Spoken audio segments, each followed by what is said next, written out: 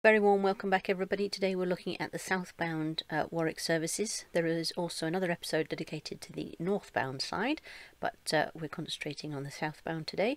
So let's zoom in and have a little look so we can get our bearings before we go to the drive-through. So the layout is a little bit different from uh, the northbound side.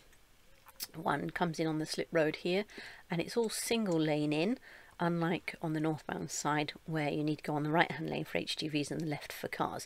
So this time actually it's HGVs and caravans and so on that are off first. Now it's not particularly well signed in terms of uh, signs stuck in the side of the road but it's very clear from the tarmac on the ground where you need to go so you just um, follow around with coaches and HGVs. It's not specifically signposted caravans I don't think but seems pretty obvious and then you pull into the car park here and these are double length spaces. So uh, if there's a space pull right the way through to the front so that somebody else can park in uh, behind you or alternatively if you end up parked in uh, behind somebody who's there for a very long time then you will need to reverse out. Um, looks like there's a reasonable amount of space for doing that unless there's lots of people parked up at the top here where this white topped lorry is then you might have a little bit of difficulty. But the, the visibility is not too bad actually because of the angles involved. So you should be able to see reasonably well whether you can reverse out safely or not. And then you come round. Um, now the coaches here are in the, the top side in the uh, drive forward reverse out spaces but coming out you come forward and you're directed back onto the main road where the cars are all coming in. Now so it can be a little bit busy here obviously because this is the, the main route in for the cars. But the bonus is of course you then can access in the same way as every other car the fuel station. So you just come around the bend here with the cars. Instead of going right to get to HGV fuel you carry on where the cars are going and then you follow the car route down here come through here and then into the car refueling station. And that's pretty simple. You know, there are wide wings on the right, there are wide wing, wide wings, that's a bit of a mouthful. There are wide wings on both the right and the left hand side, so there should be a pump available that it's pretty easy to drive in and drive out through.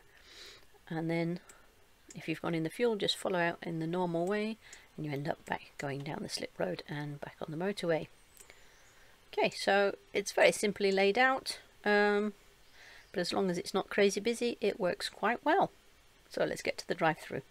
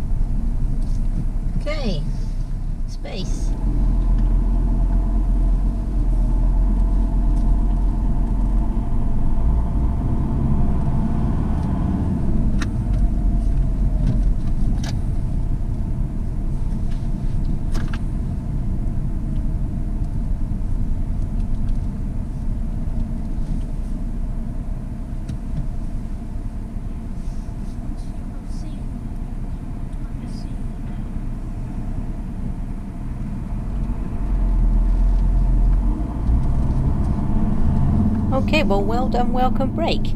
Uh, it was smelly and we did see a couple of rats running around at the uh, verge in the car park, but at least it was well signposted and easy to get into and spacious. So, well done, welcome break.